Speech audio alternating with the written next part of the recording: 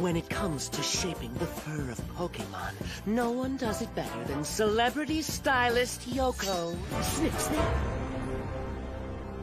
Shush,